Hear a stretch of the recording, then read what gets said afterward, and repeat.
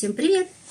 С вами снова Бьюти Бабушка, и сегодня мы с вами будем распаковывать, ну, не корейскую косметику. Сегодня у нас с вами будет немножечко гламура, немножечко подарков, да, немножечко Гуччи.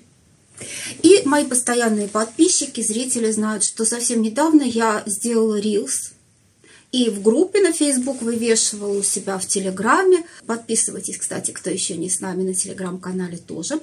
Я сделала небольшое видео о покупке сумки в очень известном, огромном магазине, который торгует брендовыми вещами. Эта сумка была мне доставлена из Польши, то есть польский партнер вот такого известного магазина. И эта сумка у меня есть полное основание предполагать, что она была подделкой. Я в самое ближайшее время сделаю видео с отдельной распаковкой этого кошмара, который мне оттуда прислали.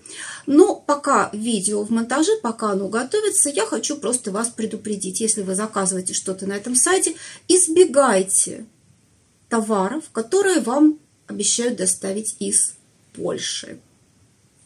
Да. И в это видео я включу несколько кадров из этой кошмарной распаковки, которая стряслась у нас тут. Да? Вот муж решил подарок купить такой. И в самое ближайшее время я во всех подробностях об этом неприятном инциденте буду рассказывать. Но сегодня мы с вами распаковываем сумку, которая была заказана на официальном сайте Gucci, и с ней уже каких-то проблем быть и не должно. И вот как выглядит настоящая посылка от бренда Gucci. Здесь есть конвертах все документы, здесь есть чеки, здесь есть поздравления, здесь есть обязательно мешок для сумки, да, ну в данный момент здесь два мешка, один наружный, внутри еще один. Здесь есть брендовая коробка вот с таким красивым бантом.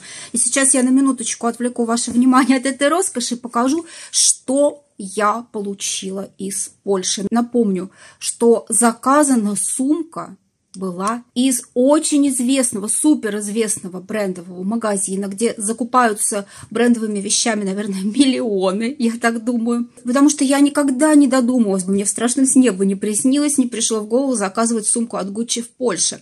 Это их партнер.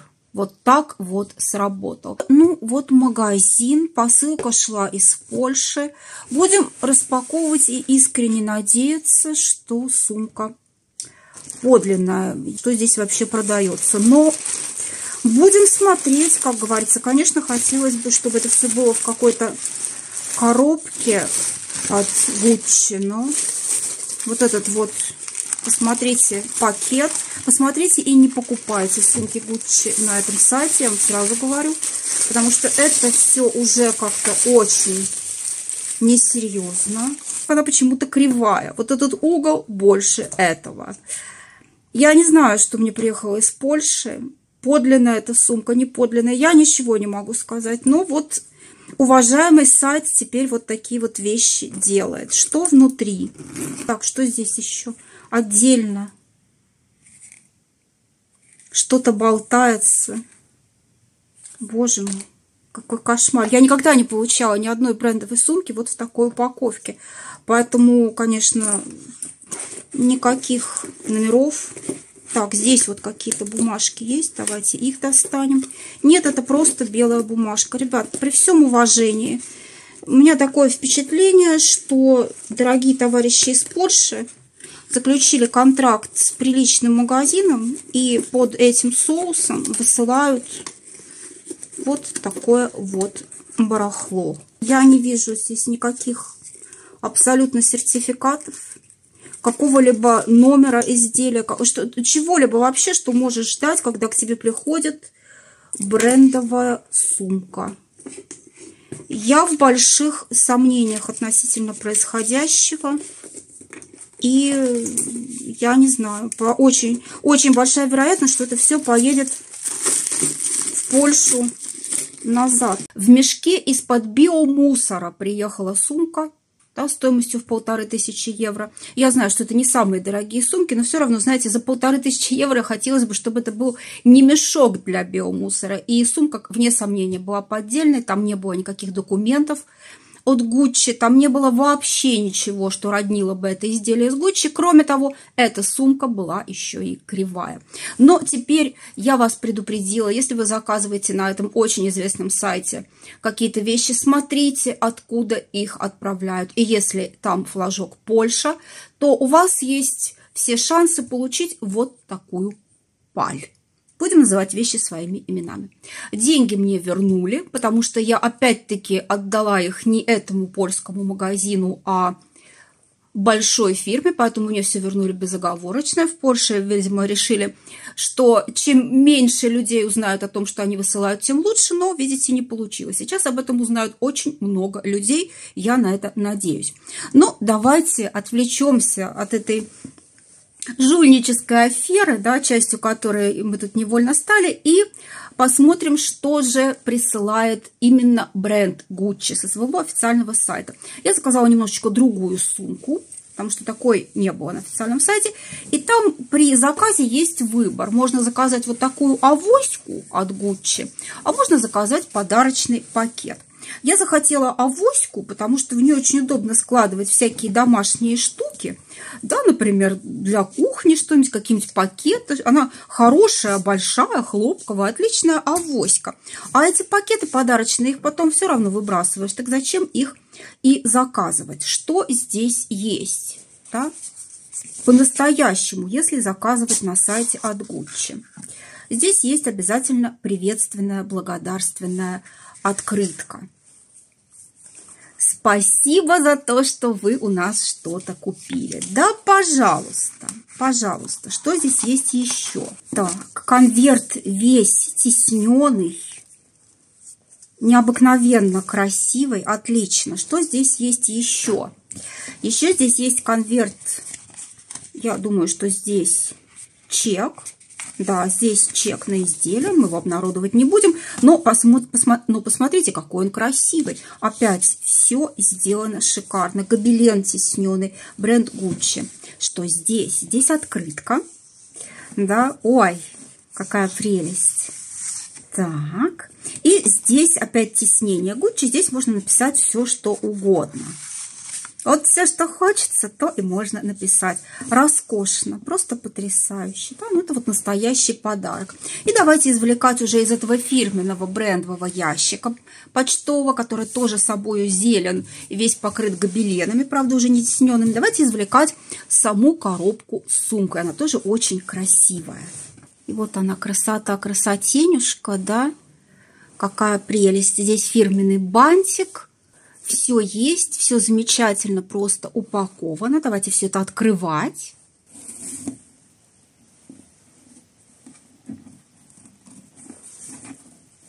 Так.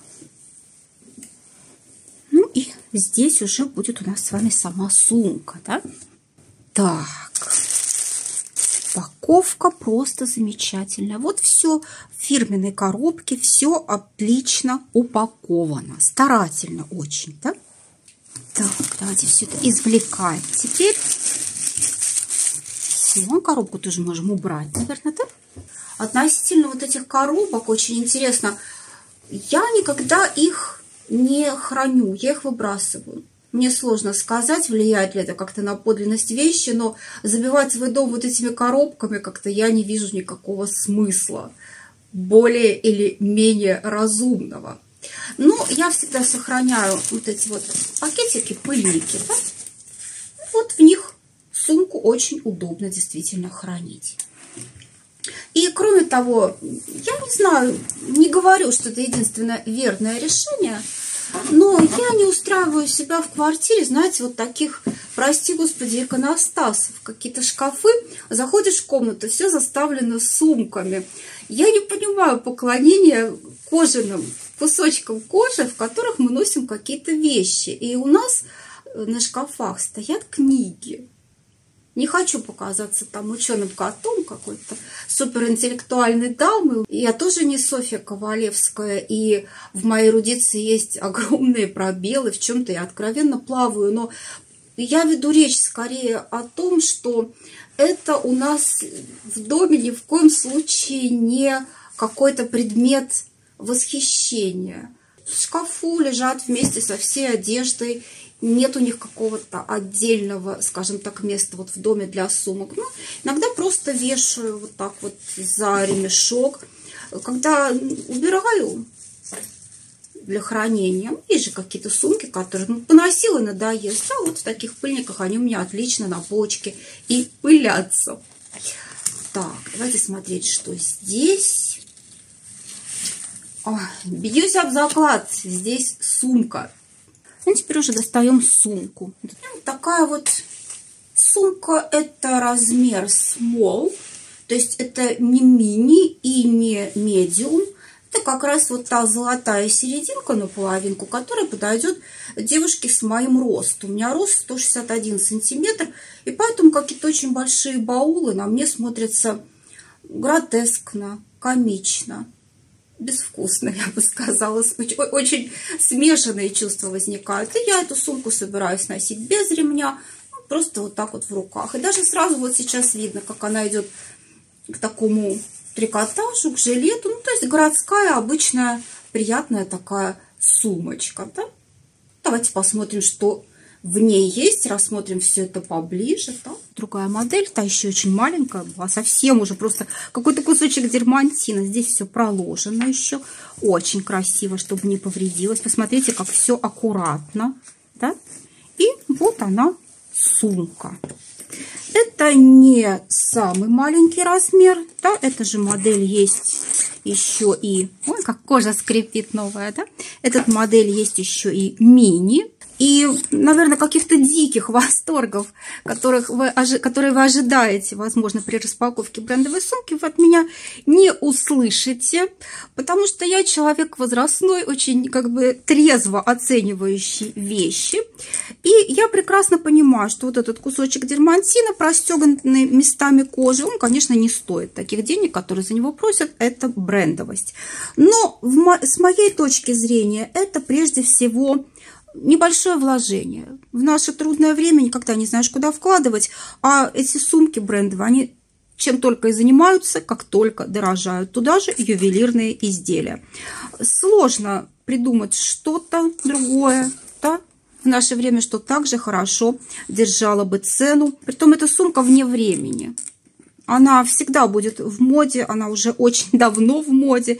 И вот этот вот логотип он свое волшебное дело сделает. Ну, давайте смотреть, что здесь интересного в этой сумке. Так, предыдущая сумка открывалась здесь на две стороны, маленькая. Это открывается уже одной большой молнией. И здесь внутри, я надеюсь, лежат ремешки. Да, вот ремешки. Опять-таки очень красиво, отдельно упакованы не в какой-то жухлой картонке. Все замечательно. Так, ремешок вытаскивается.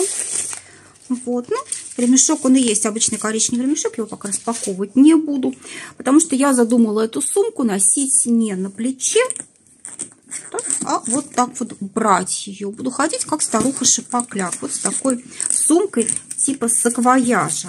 Так, здесь у нас набивочка так, молния. А, нет, молния с две стороны открывается. Смотрите, они просто сделали так. Не знаю, небольшой поклонник сумок на молнии. Ну, посмотрим, что это будет. Так.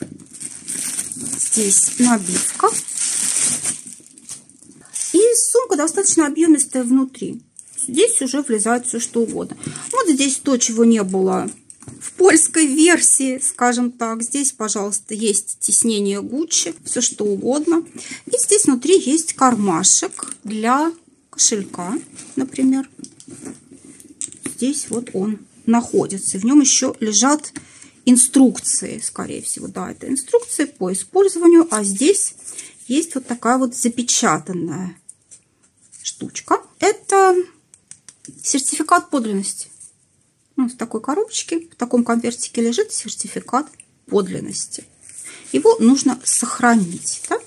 если захочется когда-то своими вложениями воспользоваться. Да? Так, закрываем все это сад. И что я могу сказать? Трудно придумать более что-то неудобное, чем вот такая сумка на молнии. Посмотрите, какое мучение.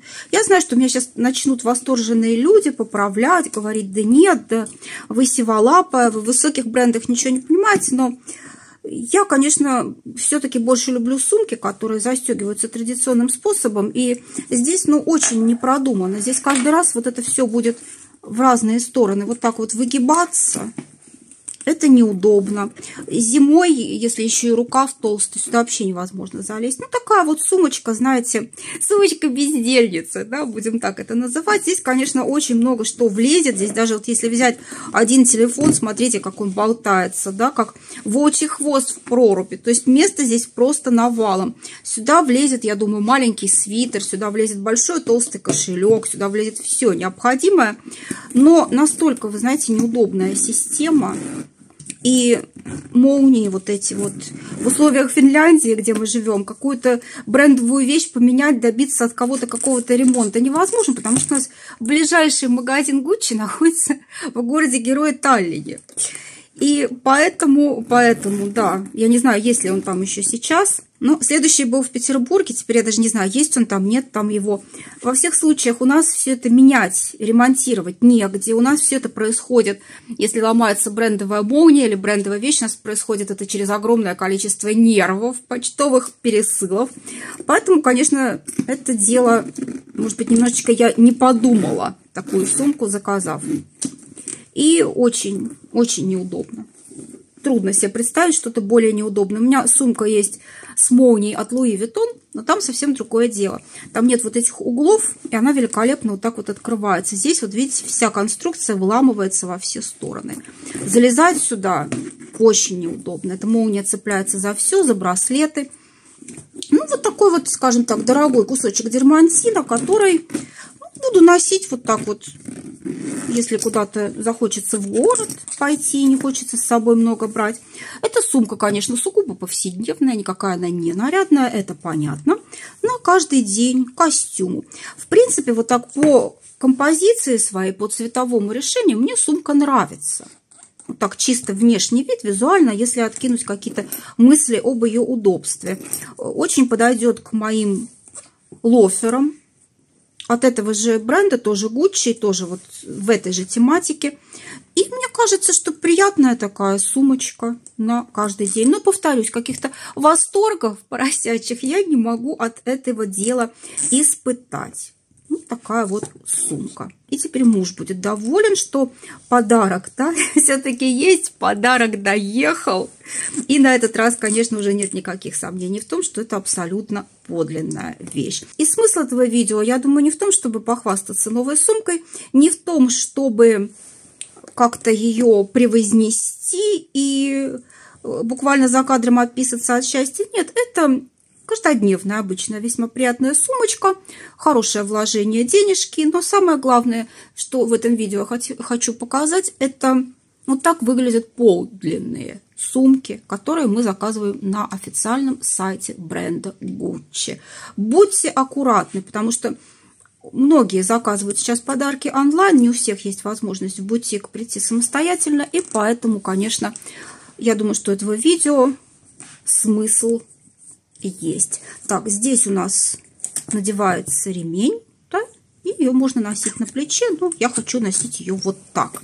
Как старуха Шапокляк. Такой же саквояж. Осталось посадить туда крыску Лариску. Вот такая сегодня получилась распаковка. Я очень надеюсь, что она была для вас интересной, информативной, и что вы обязательно узнали для себя что-нибудь новенькое. Ну, например, что не стоит покупать сумки от Gucci через Фаредж, если их посылают из Польши. Спасибо всем, кто сегодня случайно или же умышленно оказался на моем канале. И до следующего раза. Всем пока. Зайка, да? Ну, зайка же.